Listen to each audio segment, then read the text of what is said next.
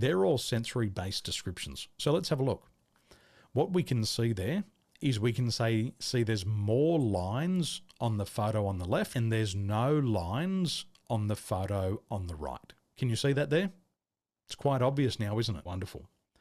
We can also see difference in the eyebrow. On the right hand side, there's a deeper line. Can you see that?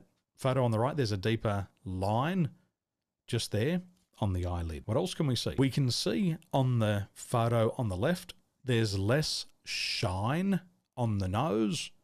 And on the right hand side, we can see there's more shine on the nose.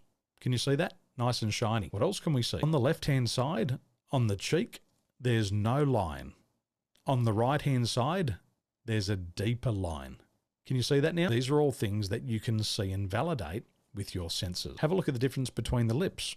On the left hand side, there's lines, and on the right hand side, there's no line. Very good.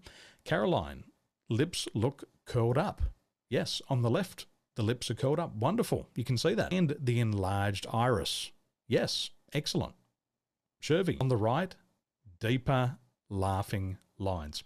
Well, all I want you to do, Shervy, is deeper lines because laughing is an interpretation. It's a guess, it's a mind read.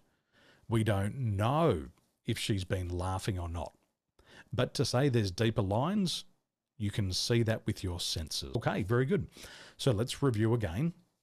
This is what we can look for. We can look for the skin color. Is it lighter or darker? The skin tone. Is it symmetrical or not symmetrical? We can't see the breathing. We can see the lower lip size. Is there lines or no lines? The eyes. Are they focused or defocused? Are the pupils dilated or